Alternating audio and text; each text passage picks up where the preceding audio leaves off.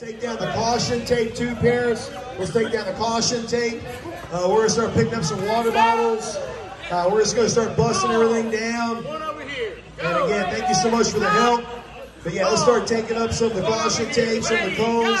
We're gonna stack everything in the corner. That way we can load the trailer up all at once. But yeah, they're warming up. We still got the $500. Oh, that was nice. That was cool. Both sides. Both of them are good.